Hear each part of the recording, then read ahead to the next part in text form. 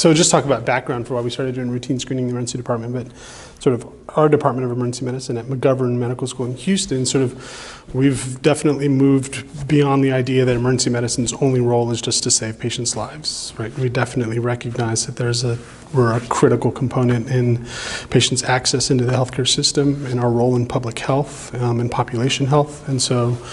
um, this started with Dr. Jamie McCarthy several years ago, but we recognize the value of um, that this is a very um, um, pop, a portion of the population that is really living on the fringes of healthcare and sort of don't have everyday access to a healthcare provider. And so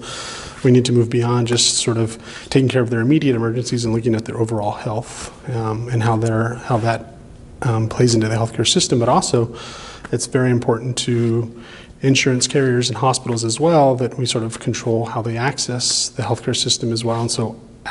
diagnosing some of these diseases like HIV and hepatitis C very early